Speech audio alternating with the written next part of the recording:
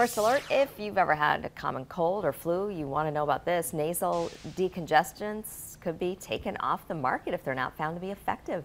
Aisha's at the First Alert Safety Desk. So what have you learned about this? Well, Tammy, I'm learning this morning an FDA advisory committee is meeting to talk about it this week, specifically the effectiveness of an ingredient in some common nasal decongestants.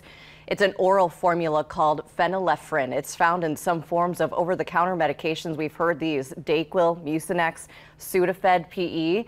There are no concerns with safety, just effectiveness. The FDA has found through clinical trials that oral phenylephrine, or PE for short, does not improve nasal congestion any more than a placebo. That's at least at the dose it's marked for over the counter when you buy it at the store.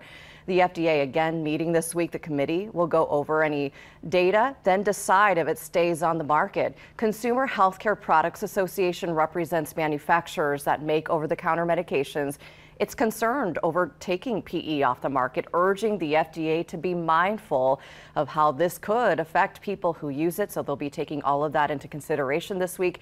Doctors suggest when it comes to treating cold and flu symptoms like nasal congestion, sometimes less is more. Having a humidifier during the dry months of the year is a good tip.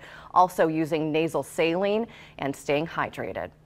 Coming up in the next half hour, if you consider yourself a night owl, there's a new study that says you could be at risk for type 2 diabetes. I'll explain why, Tammy. All right, Aisha, thank you.